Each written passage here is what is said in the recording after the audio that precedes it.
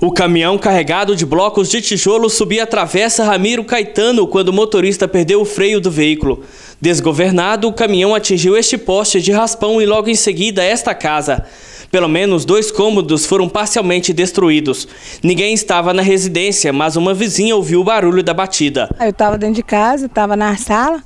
Aí eu saí com a minha filha para fazer tarefa na cozinha com ela. Aí quando eu sentei na mesa, eu escutei o estrondo, entrei pro quarto com ela correndo porque estava fazendo muito barulho. Daí a pouco parou, eu vim, aí tava, o caminhão entrou na casa ali, bateu no poste aqui. A princípio, o que, que você achou que você fosse? Ah, achei que fosse o, o tirintudo do Alex ali do lado, porque o menino tirava fazia esse barulho, né? Só eu achei que fosse. Na hora eu assustei, aí eu até falei com ela, calma que é o tirintudo. Aí saí, olhei, caminhão. O motorista do caminhão não quis gravar a entrevista. Uma testemunha disse que ninguém mora na casa e que o proprietário reside no Rio de Janeiro.